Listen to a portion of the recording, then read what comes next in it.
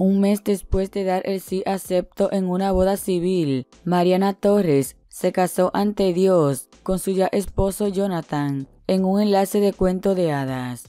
Frente a las paradisíacas playas de Punta Mita, Nagarit, la pareja se unió en matrimonio bajo la atenta mirada de sus invitados, entre lo que destacaba la bella Geraldine Bazán. La actriz, gran amiga y compañera de la novia, compartió algunos de los momentos más entrañables de esta ceremonia tan romántica. Hace justo un año, la protagonista de Ringo y Fuego Ardiente anunciaba que se había comprometido con su pareja y que se iba a casar. Primero lo hizo en una preciosa y privada ceremonia por lo civil, en la que ya deslumbró con su estilo elegante a la vez que sensual. Este viernes lo hizo en una boda religiosa, en la que también lució un vestido blanco, que fue un derroche de feminidad. Mariana optó por un traje ceñido sin mangas, que marcaba su figura, y con un escote palabra de honor.